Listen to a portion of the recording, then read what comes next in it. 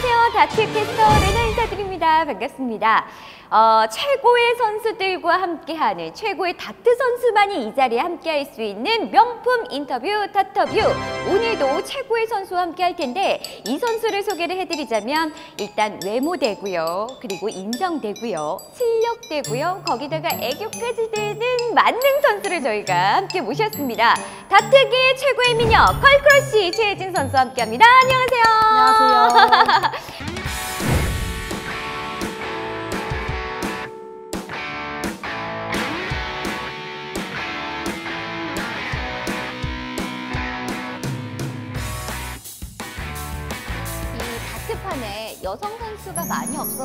더 집중을 좀 많이 받으실 것 같은데 그래서 궁금하네요. 다트를 어떻게 시작하게 되셨는지.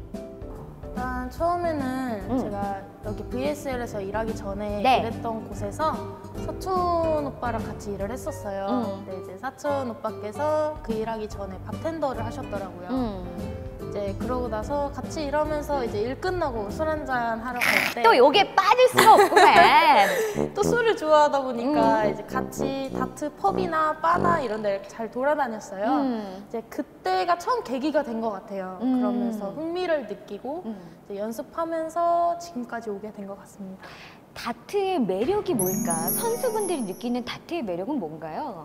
다트의 매력은 일단 이 다트라는 종목 자체가 네. 스포츠다 보니까 음.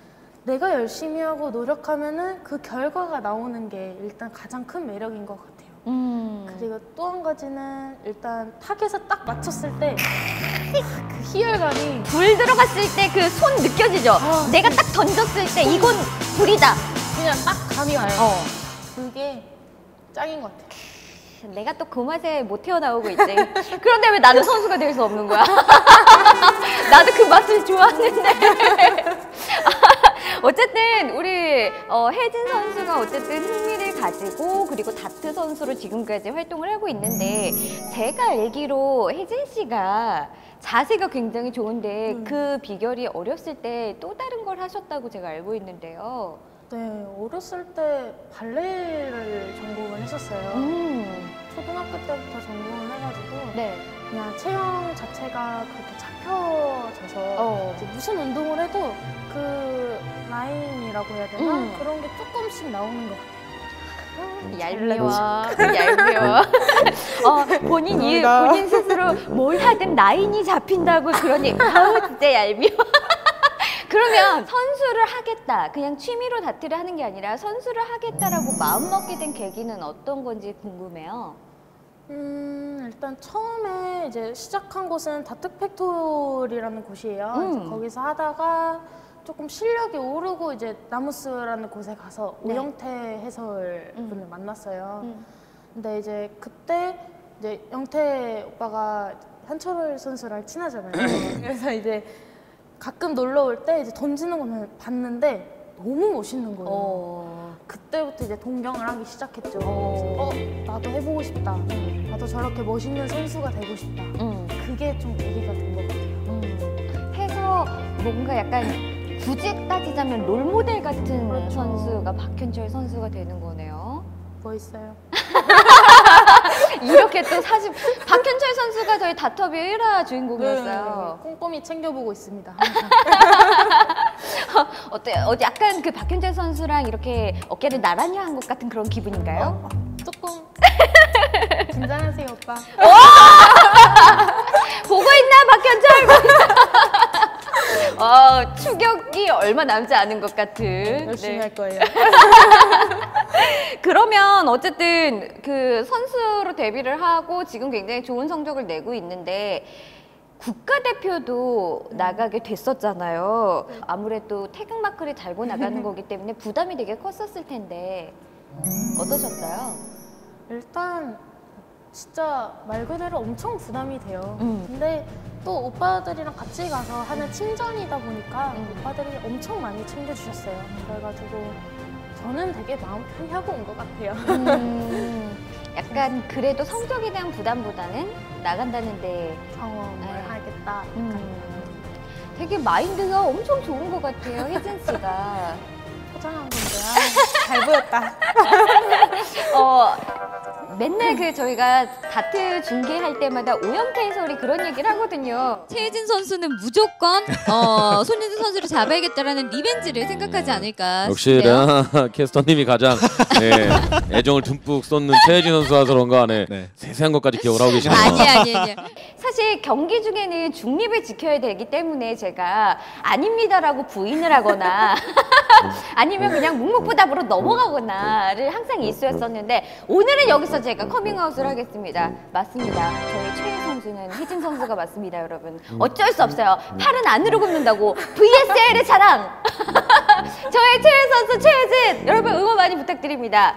어, 참고로 제가 VSL 소속 캐스터이기 때문에 그런 건 아닙니다.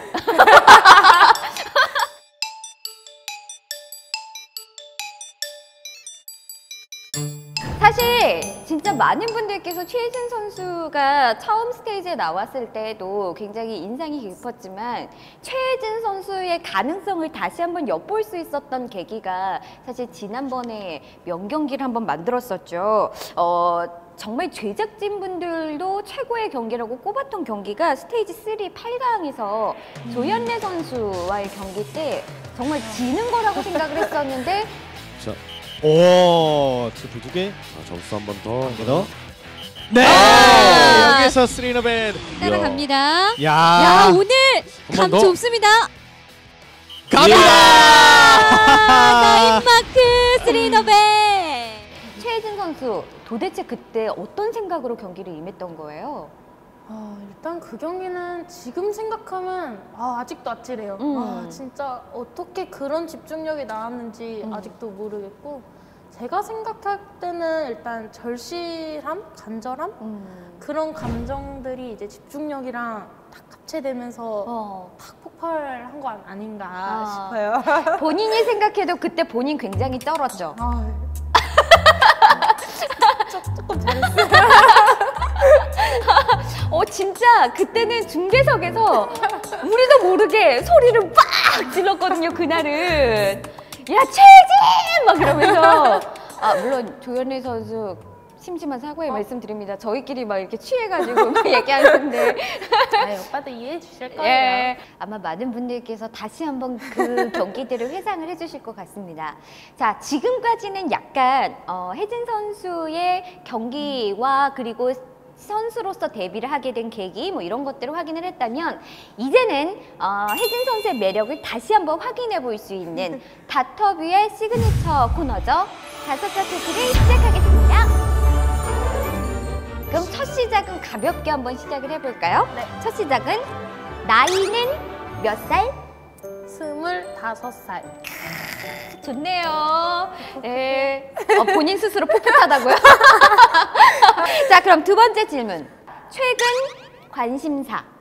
음, 다트와 연애? 오. 어, 하나 내가 했다? 어, 연애. 그러면 지금 연애는 안 하고 계신 거예요? 네, 지금 남자친구는 없어요.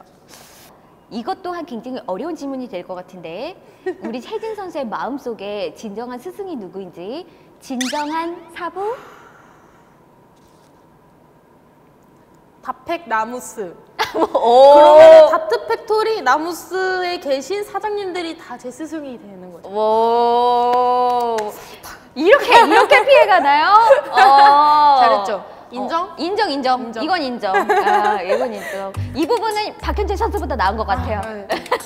보고 있어요, 오빠? 어, 준비를 너무 많이 해온 것 같은데. 자, 그러면 다섯자 토크의 마지막 질문입니다. 인생의 목표.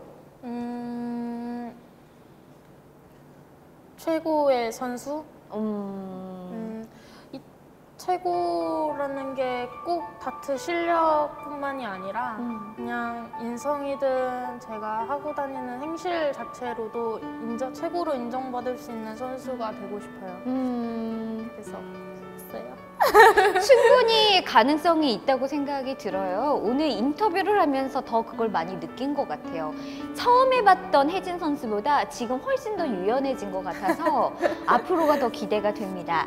이제 마지막 질문 드릴 거예요. 어, 스테이지 4에서 진짜 많은 분들께서 선전을 바랬지만 안타깝게 스테이지 4에서는 조금은 아쉬운 모습을 보여줬던 게 사실이라 네. 스테이지 5에 임하는 각오 그리고 팬들한테 한 말씀 부탁드릴게요. 음, 네, 일단 스테이지 4에서 아, 열심히 노력했는데 너무 부족한 모습만 보여드린 것 같아서 죄송하고요.